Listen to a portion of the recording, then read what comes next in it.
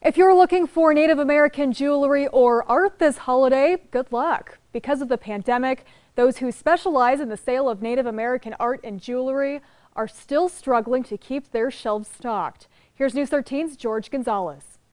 The reason?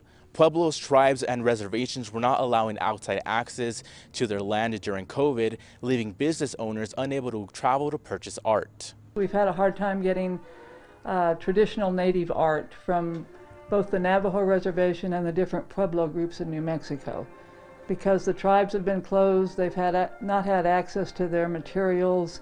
They haven't been as active doing this because of the pandemic, and it's been hard for them to come and hard for us to go. Reedy says it's been stressful for both business owners and Native American artists. The shortage goes beyond jewelry and includes all handcrafted art. Pottery from both the Pueblos and the Navajo Reservation. I would say uh, Navajo sand paintings, which we carry a, number of. We've gotten some Navajo folk art, the Pueblo storytellers from, say, Jemez, uh, and other Pueblo groups we've had difficulty getting. Uh, we usually have many. I, I just think they're not making as many. They aren't traveling as much. And Reedy hopes that the sale of art pieces increases over time as access increases as well. Back to you.